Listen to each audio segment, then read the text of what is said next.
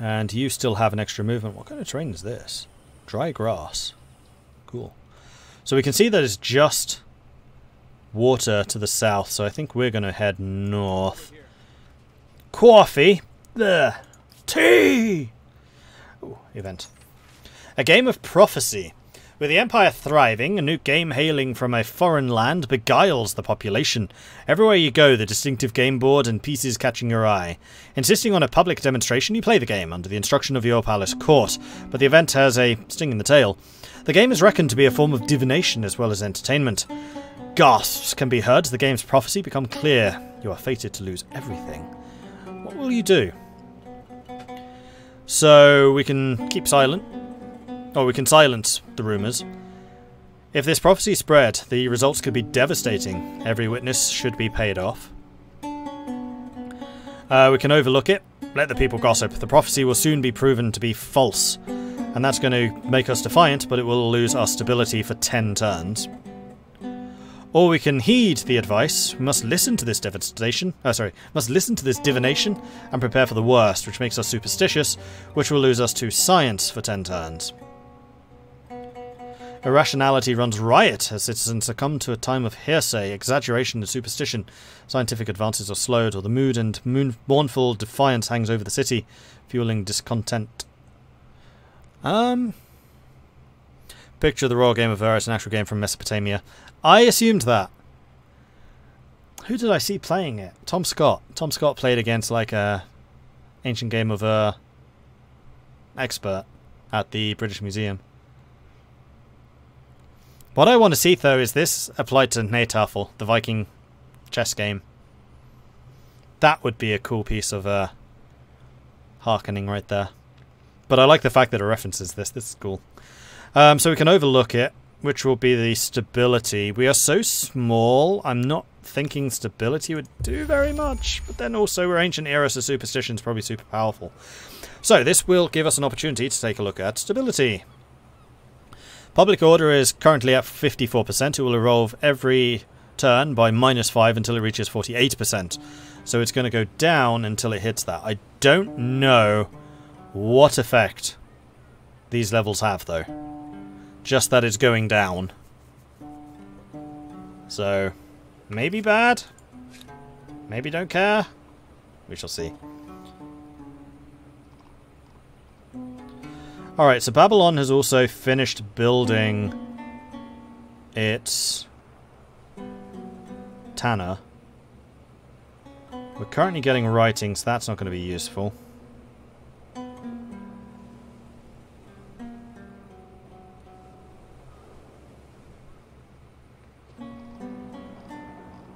We could get another scout.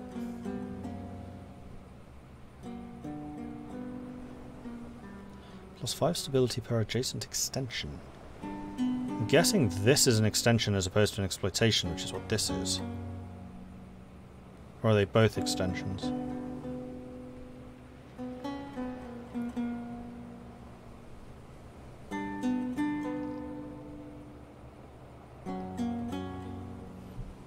Oh, stability under control. Ah, here we go. In a state of under control, the people are quiet. The state will remain so as long as your settlement public order stays between 30 and 90, which it will. So we're fine, as long as it doesn't go below 30.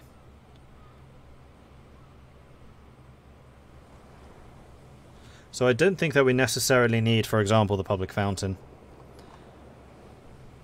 So we could...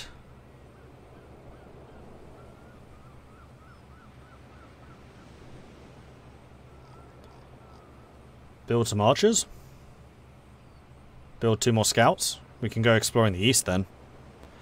Uh, we could also use them to hunt deer and stuff. Kind of wish we had spearmen. Getting an archer and a spearman, for example, would be quite nice. You know what, let's get two scouts. We'll just create a second scouting army. Exploitation refers to the tiles around your extension, shown in the fields and the little furnaces, anything with a dense cluster of buildings and extension. So these are the exploitations, these are the extensions. Okay. And the extension expands where you can exploit. How much is it going to cost me to set up this city? 250 ducatses. Okay, a bit more expensive than I have right now. Merge your armies. This army contains a single unit only. There is still, uh, but is still using one of your empire's generals. We have 18 left. To be able to keep creating units without suffering a money upkeep cost due to the inefficient generals, you can merge your armies. Move an army to another army's tile if the total units of both armies is less than equal to the unit slot limit. Both armies will be merged and become one. Okay, so merging I get. How do you split? Because that was something that I was looking at previously with this unit. Like, I'd like to just... Because I'm just exploring anyway, I'm not fighting. I'd quite like these to be two individual scouts. But I never saw how to actually split them.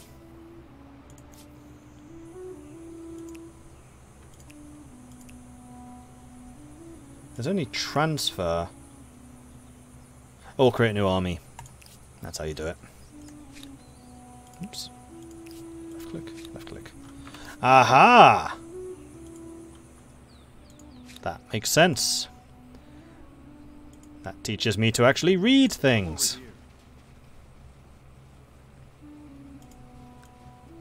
And we'll send you up this way. Ooh, science. Yeah, animal remains science. Cool. Those pop-ups really need to hang around longer, or give you an option to close them. Okay, we have an idle army, which is the scout. Did you just get insta-built? I didn't think I was quite there yet. Okay. And we're building another... Okay, they are just taking one turn instead of the two, which it's telling me. We must have still had some production saved up.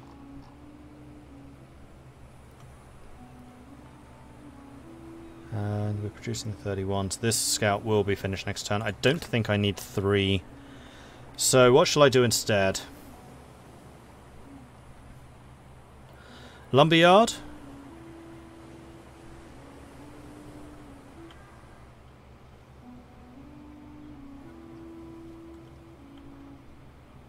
Plus one production on exploitation. So will the numbers of these just go up by one? Because that seems like it would be incredibly powerful if it's just plus one production.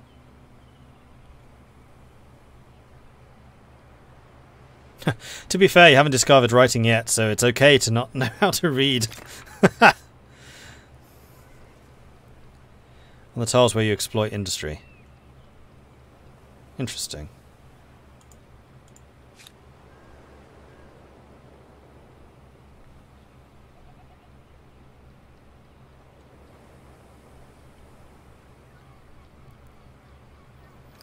Three, two, two. See exactly how that works, because I'm curious. Onwards! What's that? Mercury. All cities, plus five stability per Mercury, plus two science per Mercury. Alright, so we've got our scoots who need to scoot a boot. You can go there. Um, you can go here. Got another thing to look at there and another thing to look at over there.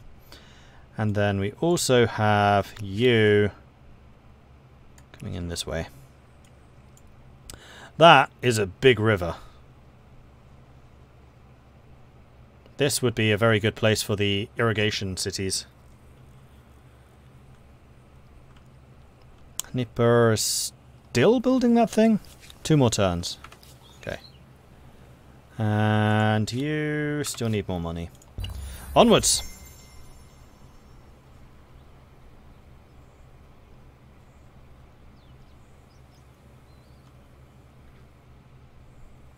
So you go ahead and explorify. Can we go over water? Is this water? This is not water. Oh, it's a deer. 1v1 versus a deer. We are stronger. Do it. Confirm. I'll just go ahead and automate this, seeing as it's a 1v1. Whoa, where's the deer? Defeat! Wait, we lose? We lost! How... Duh. Okay. I don't think we even got hit! 100 hit points! Oh dear. So whoever is in command of this army should be shot. Because they're clearly not very good at their job. Volunteers, a second unit of scoots. Who immediately can move as well, which is quite nice. Oh wait, no, these aren't scouts, these are warriors. Interesting, so we got better fighty people.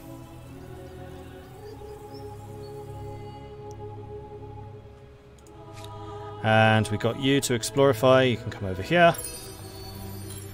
More money, 200. Oh, we are getting so close. Two more turns we can build a city again. Yeah, we'll go down here, because there's another thing to explore there.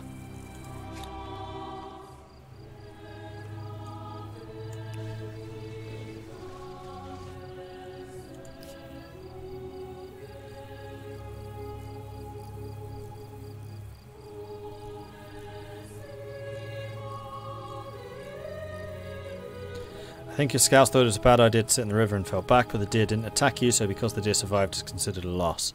Ah. Writing! Though it starts as crude marks on simple materials, the ability to store and transmit knowledge will change the world. So I want to go down to Babylon because in three turns you're going to finish that. And then after that, you are going to get me a market quarter Right there.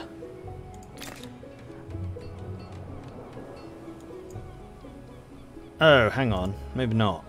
Cancel that. Because that's apparently going to cancel the production, because I don't have anything here which produces money. So actually building that here is a really bad idea. This should be a production thing of some kind.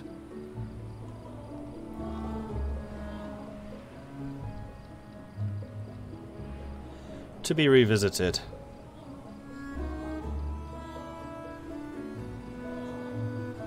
Oh no, House of Scribes is just a local upgrade, it's not an Empire upgrade. But it would mean that any researchers would produ produce more science, but we have no researchers. And by the way, we can see exactly where our people are assigned. Uh, here, so currently Babylon is a population of three. We have one on food, one on industry, one on money. And we can move them around if we wanted, say, more science or uh, more money, or if we wanted extra, extra food for even faster growth, we could do that. And I actually kind of like this idea because we have a maximum population of not three, ten. And I quite like the idea of just growing really fast.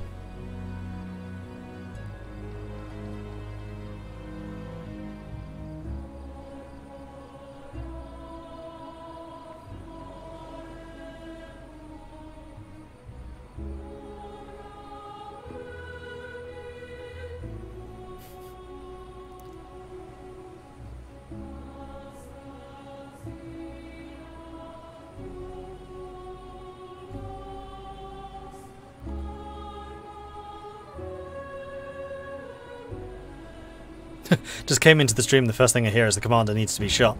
Well, he lost a battle against a deer by not even fighting it. Uh, do scouts get any bonuses for being the ones exploring, or are they just fast? Ignores movement penalties from forests. Yeah, you just hit harder. Okay. It's not like Civ where they get bonuses to exploration. 15 science! Promote that man at once. Science? Yeah.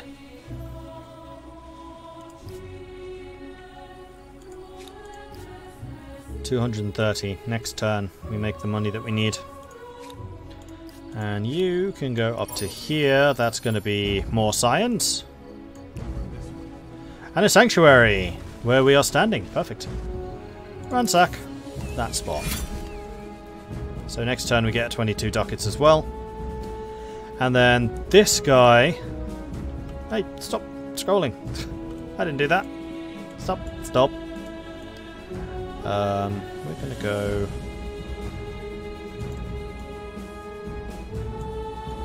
This way. Did I teach those poor individuals how to swim or not? I don't actually know. Oh, the army can move again. Uh, well, there's a sanctuary over there with some deer. So we could show those silly scouts how to actually fight. I think that would be worthwhile. Let's do that. One idle city, Nippur, finally finished building the astronomer's house. So now we can get a food producer here or a nothing here.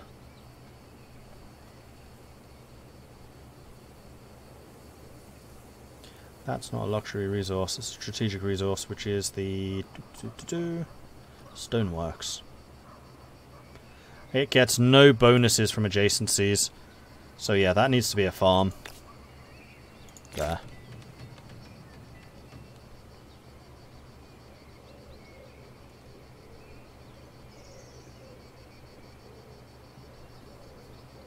Can't judge, Jim. I would lose a battle against a deer as well if I had only a club or something.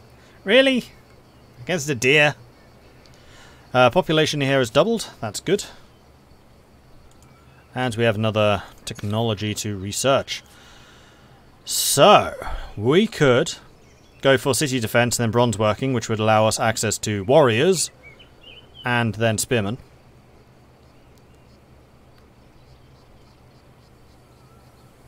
Does this mean that I can't actually use that copper? Ah. City defense it is.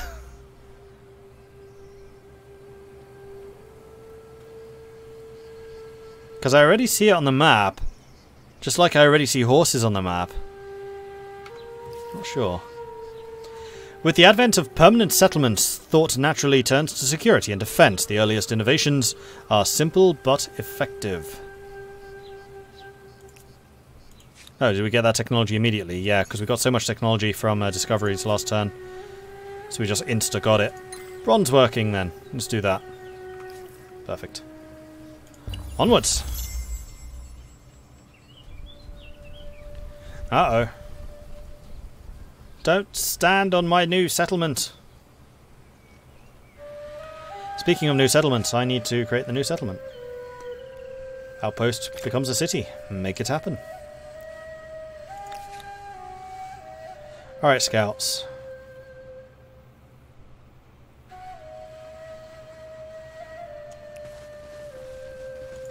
We're going to try and go that way again. Sins of the Father. Here it is. The birth of writing has permitted word of your great deeds to be recorded and disseminated amongst your people, but it has also allowed a person's debts to be tallied. In the past, a person's debt died with them, now that they are inherited by their offspring. However, in the new city of Nippur, the political leadership wishes to strike those debts from the record of anyone who makes the city their home. What do you say? So we can assent. The Empire will take on the debt of any citizen who comes and makes Nippur their home. We'll lose a hundred ducatses, but we will gain two population. We can deny this. Those owed will be happy to hear their interest-paying monies are still due. Nippur becomes prosperous and will earn five extra ducatses per turn. The markets ring out with the sounds of commerce as trade flourishes. Or we can choose to restrict who gets this bonus. In the interest of fairness, only those with small debts will be given the right to settle. I cannot afford minus 100 because we just bought a new city, so we're going to do restricted access because I also don't want to be losing stability for being in debt. Because we'll be in debt for like three turns. So we'll go, well, three, for two extra population. That's a lot of population. You know what, sod it. We're, we're going to eat the, uh, the loss. It's fine. It's just good business. Or isn't good business in this instance. Alright, warriors. Warriors. Come out and play. The Great Blue Hole. All manner of sea creatures stalk the hole's uncharted depths, from sharks to gobies to angelfish. I'm guessing that's another natural wonder? It is. All manner of sea creatures... Yeah, we've read that already. Plus 5 influence per natural wonder, plus 10 stability per natural wonder on the settlement, plus 10 money for natural wonder on the settlement. So this would be another good location to build a settlement, though it is quite... well, it's not massively far away. Although right now I think I'd rather have the horses to... Well, marble is good. It's very good for money. Although it's going to be a while before we can get the next outpost, so I don't think this will ne necessarily matter.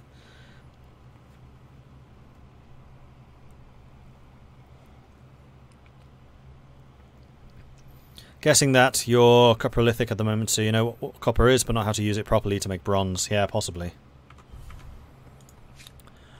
Okay, you guys can move an extra province, I think we'll move you back this way and we'll probably merge these two armies once again. Because I feel like we are ending the exploration phase and entering the we're going to hunt everything phase.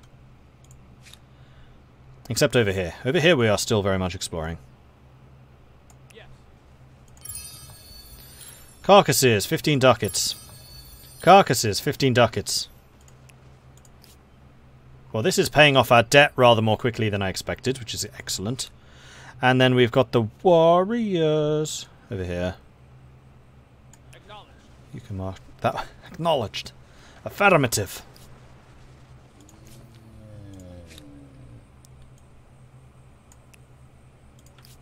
Yeah, you can get down there. It just takes two movement to move to that spot, I guess. Okay, scrolling back over here. You're still building, you're still building, you're still building. Marvellous. Bronze working, forged in fiery crucibles. Bronze is stronger and more durable than copper, and transforms tools, weapons, and armour. Okay then. So next up, we can go to the ancient era, or the classical era rather, and start working towards either philosophy or the standing army, which would allow us to get swordsmen. And iron. So we could basically just bypass the uh, Copper Age, uh, Bronze Age. It would take 12 turns, the game ends in 10, so we don't really have time for that unless we get more um, science going. Or we could get some of the cheaper technologies like domestication. That's probably better. So domestication will give us animal barns, which is more food from farmers' quarters, and for farmer quarter adjacencies. And it's a central building, it's an infrastructure building. Okay. Cool. Oh, you're still moving. Um, I want you to move north. Ah, it's the terrifying deer! Run away! You couldn't reach. You have made it to the sanctuary. Loot it. You are going to fight the deer and show these scouts how it's done. Confirm.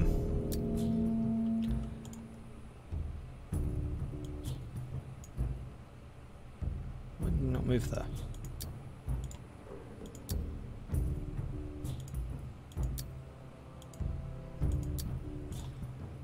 Huh.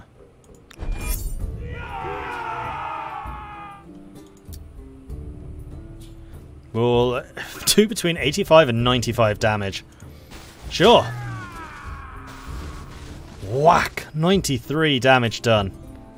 Almost one-shotted him.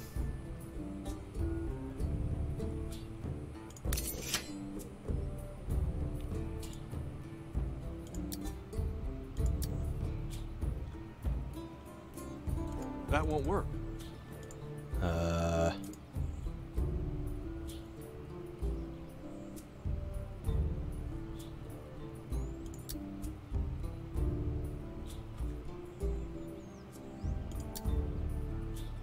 Not possible. He's already moved though. Scouts are in the battle too. Oh, they are.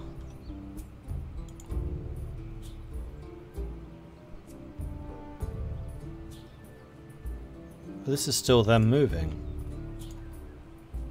Ah, here we go.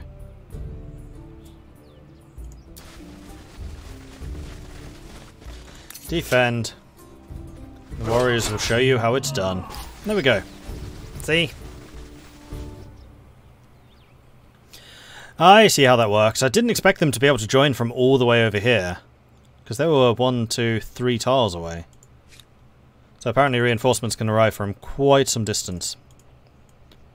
That's going to lead to some interesting sized battles. Alright. We have you. You just gained some science. You can continue to explore into the cold snows of this snowy area. In turn. Domestication. The taming and the breeding of wild animals such as pigs, buffalo brings new means of eating and working. So next technology. Let's take a look what's available. So that leads to horsemanship, which would allow us to get scout cavalry. Fishing, again, I just don't see being very useful, so I think we're going to go for horsemanship. Make it happen.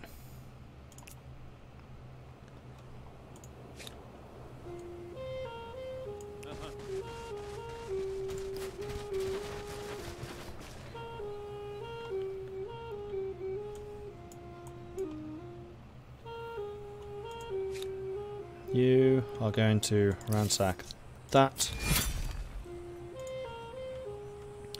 And you Over this way. can move to there.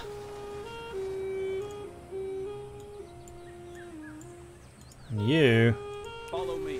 are going to grab that and run away from that deer again. Then we'll have you merging this into that army, and then the warriors will merge in as well. Next turn. You still have another move. You can move a surprising distance. Uh,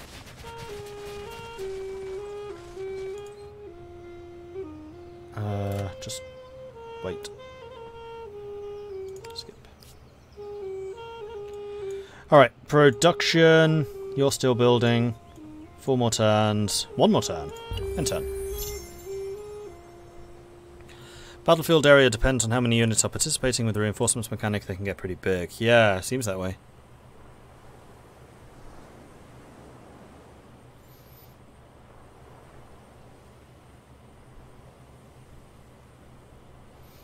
They've done a lot of cool things since I came to it. I'm going to give it another try soon, I think. Try of this, Katie? Oh, Old World. Yes, I have looked at Old World. Not very recently, but like a month ago? Wasn't that long ago. We also refined reinforcements. You may have noticed the scouts joined from where they stood on the map, not pre-placed flag. Yes, I did see that. And that's a lot better than just having units just randomly appearing. Although that does kind of happen if you have a stack which joins a battle. Okay, um, Babylon. Let's build a thing here.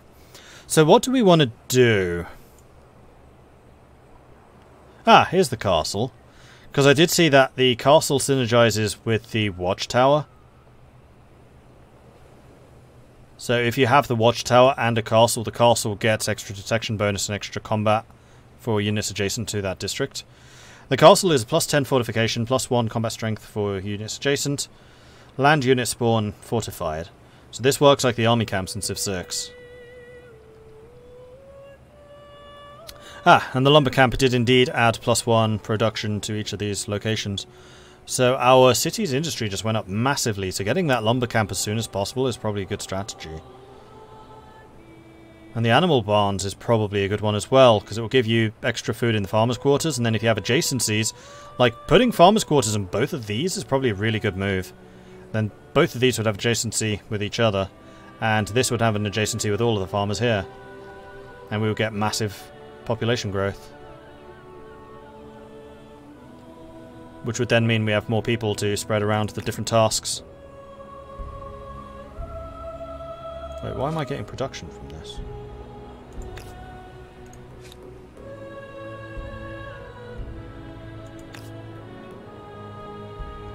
Oh, the little production thing I think is showing what I would lose. There is possible production here, but it's not being exploited because the adjacent thing is a farm, it's not a workshop. Or whatever it is that does production. I haven't actually seen anything that does production yet. Oh yes, I have. Maker's Quarter. Hold on. Cancel that.